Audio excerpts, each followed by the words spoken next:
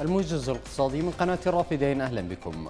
كشفت لجنة الاقتصاد والاستثمار في مجلس النواب المنحل عن تكبد العراق خسائر تقدر ب 300 مليار دينار عراقي سنويا بسبب تعفن الحنطة.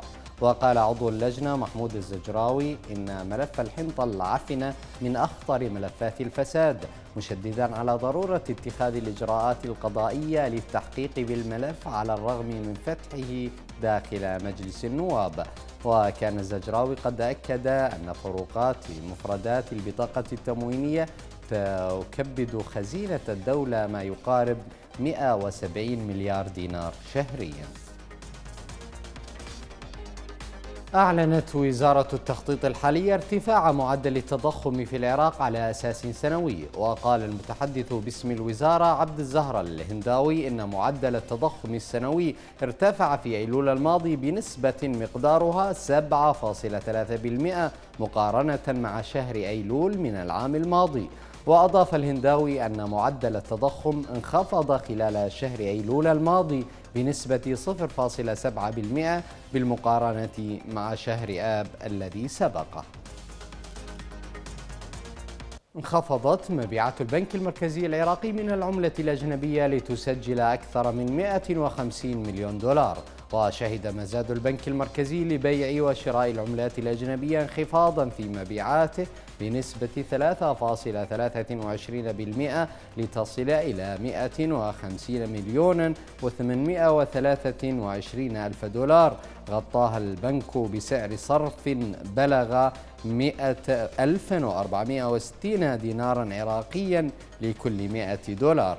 وذهبت المشتريات البالغة 122 مليونا و13 ألف دولار لتعزيز الأرصدة بالخارج على شكل حوالات واعتمادات فيما ذهب المبلغ المتبقي على شكل حوالات نقدية. أعلنت إدارة معلومات الطاقة الأمريكية ارتفاع صادرات العراق النفطية إلى أمريكا لتصل بمعدل 239 ألف برميل يوميا خلال الأسبوع الماضي. وقالت الإدارة إن متوسط الاستيرادات الأمريكية من النفط الخام خلال الأسبوع الماضي من ثماني دول بلغت أربعة ملايين وتسعمائة وألف برميل يوميا.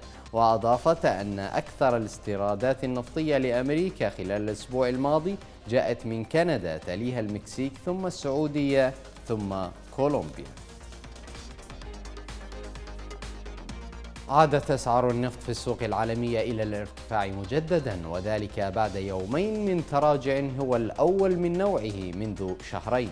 وارتفعت العقود الآجلة لخام برنت لتسجل 85 دولارا فاصلة 72 سنتا للبرميل. بعد هبوط تجاوز 1 دولار في الجلسة السابقة.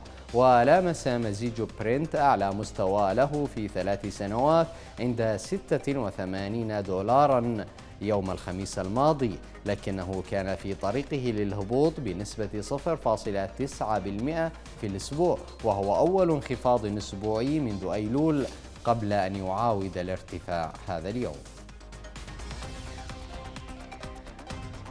أعلنت حكومة النظام السوري عن تنفيذ زيادة حادة في أسعار الديزل المخصص للمنشآت الصناعية بنسبة 161% وقالت وزارة التجارة في حكومة النظام السوري إن سعر بيع اللتر الواحد من مادة المازوت الصناعي والتجاري الديزل أصبح 1700 ليرة سورية. أي ما يعادل 50 سنتا. وصعد سعر الديزل في الأسواق المحلية من 650 ليرة سورية قرابة 18 سنتا. كانت حكومة النظام السوري قد حددته في التاسع عشر من شهر تشرين الأول الحالي.